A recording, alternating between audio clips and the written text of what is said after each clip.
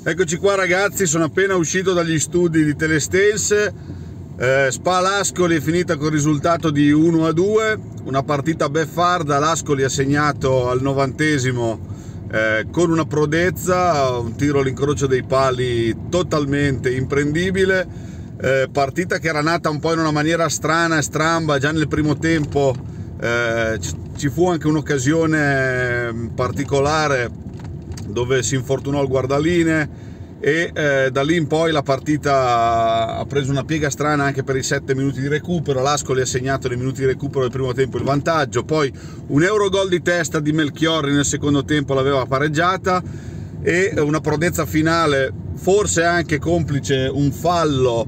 a centrocampo l'azione poi è proseguita e l'Ascoli ha segnato un Eurogol, una vittoria dell'Ascoli che direi anche abbastanza legittimata perché sotto il profilo del gioco forse qualcosa in più e anche sotto il profilo delle occasioni ha, ha avuto qualcosa in più l'Ascoli. Per la SPAL c'è un rammarico di non aver portato a casa un punto in virtù anche della sconfitta dell'Alessandria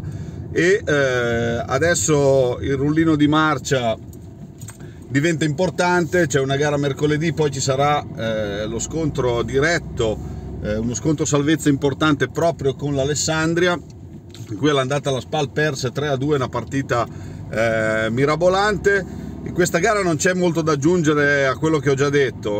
un Ascoli che a mio avviso ha legittimato eh, la vittoria, è una partita molto maschia, come si dice in gergo, l'arbitro eh, lasciava parecchio correre, eh, ci sono state anche del, delle contestazioni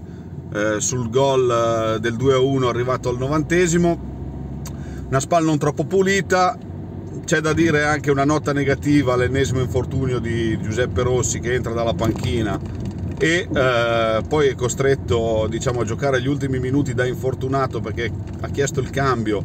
e eh, i cambi erano già finiti, quindi gli ultimi dieci minuti si è giocato con un uomo in meno. Pepito Rossi, lo sappiamo, eh,